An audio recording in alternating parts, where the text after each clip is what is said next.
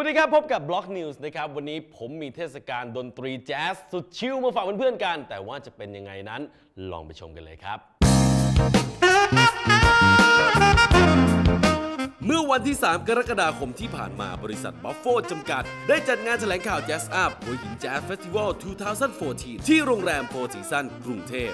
บรรยากาศงานเต็มไปด้วยแขกผู้มีเกียรติมากมายทั้งศิลปิน และได้รับความสนใจจากสื่อมวลชนเป็นจำนวนมาก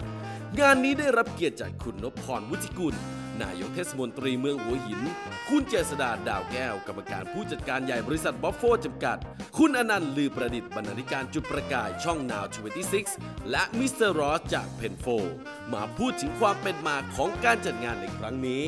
และยังมีการแสดงสดจากฟางข้าว The Voice Nat TJC และสตีฟแคนนอน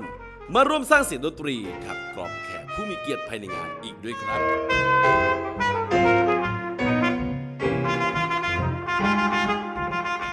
สำหรับใครนะครับที่อยากจะไปดื่มด่ำกับดนตรีแจ๊สแบบชิวๆแบบนี้บนหาดทรายสีขาวที่ทะเลหัวหินก็พลาดไม่ได้เลยครับ กับงานแจ๊สอัพหัวหินแจ๊สเฟสติวัล 2014 ที่สวนหลวงราชินี 19 ไร่ ในวันที่ 26 กรกฎาคมนี้